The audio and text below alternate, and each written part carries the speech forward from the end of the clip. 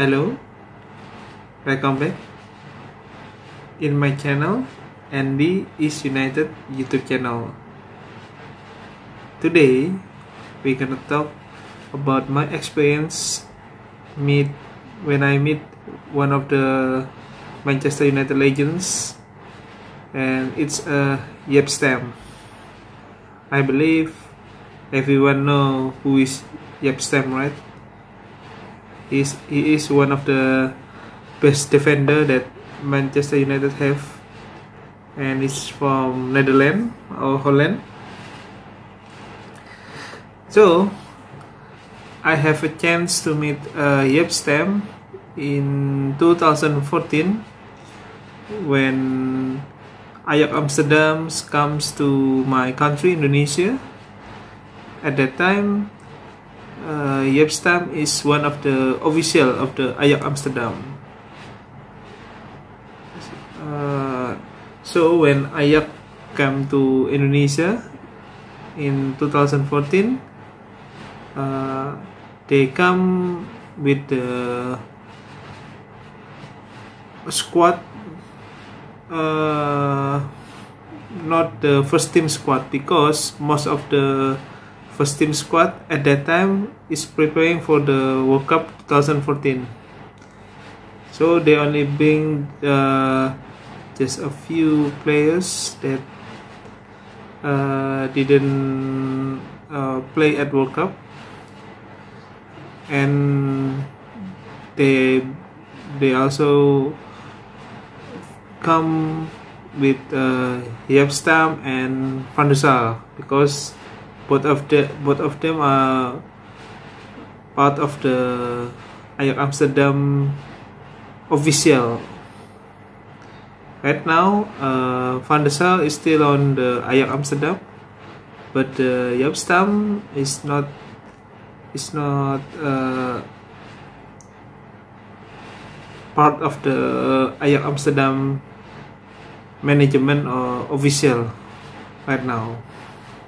So uh, in 2014, uh, when Ajax Amsterdam come to Indonesia, I go to the hotel with hope that I could meet uh, Van der Sar, uh, Yep Stam, and also the Frank de Boer because uh, I love or I like Frank de Boer since uh, 90 because when I was grow up uh, I watched uh, the Ajax Amsterdam is uh, one of the best team in Europe at the time with the squad it's very uh, popular in Indonesia. There's uh, at that time Patrick Kluivert.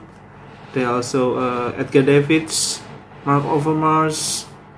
Uh, then there's uh, Danny Blind, Frank de Boer, Ronald de Boer, Christian many Winston Bogarde, many many of the best player in Europe play in Ajax Amsterdam in mid 90s.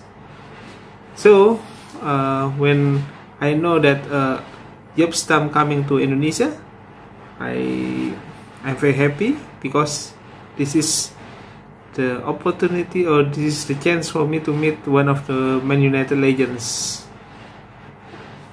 He's a good player, and we know that uh, he have uh, good skills and no compromise to the enemy players that come to the defense area of Man United when they play as Man United players. So I'm back for the story to the story. Uh, when Yep Stam came to Indonesia, I met him third time the first time I met him is it, it was on the it was in the lobby of the hotel. I remember that. Uh, at the first time, or the first chance I cannot take the photograph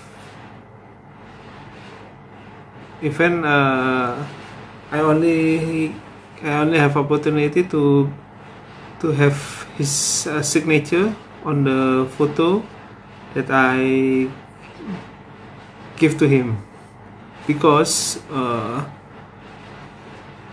I think uh, at that time uh, he he has a bad mood. So he so he's he's kind like uh, not friendly to the fans. I don't know why because maybe he has he was on the bad mood at that time. So he he looks like not unfriendly to the fans I hope it's not his character because uh, I uh, because uh, it should be uh, nice to the fans I know. But at that time he looks unfriendly. At the first time I meet him when pe- when people or fans ask him to send the autograph uh, he refused uh, sometimes he sometimes he accept to he agree to sign the jersey or shirts but uh, he looks unfriendly i don't know why that's the first time i meet him at the time and then uh, even my friends one of my friends, uh, Luis Utama. His name is Luis Utama, my friend. He said that uh, I don't know why uh, Yapstam is so unfriendly. Maybe he he didn't like uh, visiting Indonesia or what, or maybe uh, his grandfather or his uh, family. Uh, involved in uh, war against Indonesian Indonesian when our independence declared in 1945 so maybe he has a uh, he has a defense or I don't know. But that's uh, that's the what that's what's happened at that time. Yapstam is not friendly at that time okay? And the the second the second time I meet him when he when Ayah come to uh, Indonesia in 2014 it was in the mid and greet season. So I entered the quiz held by Adidas Indonesia and I won. And the prize is meet and greet with uh, Ajax Amsterdam players, but uh, at the at that meet and greet there also Edwin van der Sar and Jaap Stam. At at first I didn't know that uh, both both player will attend the meet and greet too, but when I know that Jaap Stam and Van der Sar also join the meet and greet, wow, it's like wow maybe this is the chance for me to to meet and take autograph with Jaap Stam. And it's true. Uh, the Jaap Stam is totally different uh, at meet and greet. Because he's very friendly to the fans I don't know why. He's very friendly nice. Uh, I also have uh, some a few a few autograph from him.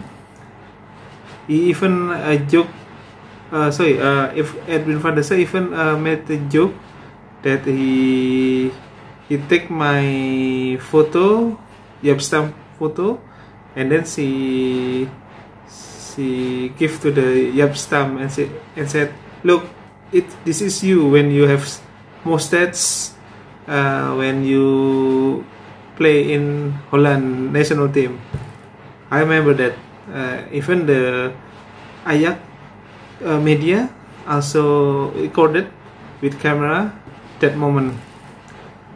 Uh, so uh, at the second uh, time I meet Jaap Stam, it was in the meet and greet, and he was totally different from the first time. He was so friendly, and he is also kindly to sign all the stuff that fans bring to to sign by him. That's that's my second time meet Yep Stam. Okay, and the last time I met Yep Stam, it was uh, one day after the meet and greet. I go to the hotel. At the time, it's uh, match the match uh, uh, Ayak versus uh, Persija if I'm not wrong, Persija Jakarta, one of the Indonesian football team. After the match, uh, I remember I go to the hotel and hoping that I can take uh, or complete the signature of Ajax Amsterdam players. When I'm waiting the Ajax Amsterdam players, uh, when they go to the special room that they use for the dining room. Uh, suddenly, Yapstam is woke, and then so I so I go to Yapstam and ask photo and autograph, and guess what? He back uh, he's he become not friendly again, and I remember what he said. He said that when I give him a photo of him that the photo is when he lift the trophy of Premier League you know what he said? He said you want me to sign this? I know you will sell this in the eBay right? Can you imagine? The Epsom said that to me.